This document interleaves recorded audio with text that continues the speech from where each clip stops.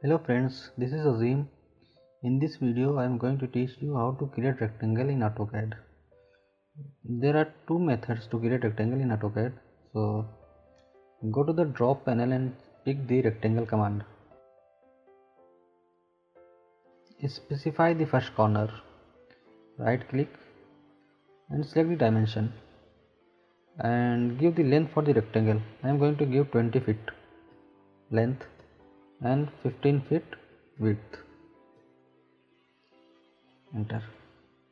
Now I'm going to create the rectangle using the area of the rectangle. So if you want to go to the command press spacebar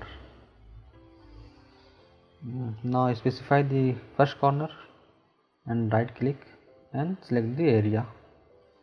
Area is 43200 enter and select the length. Length I'm going to give 20 feet. Now. Now we have created the rectangle by both the methods. So that's all for today. If you like this video please thumbs up and don't forget to subscribe. So thank you for watching this video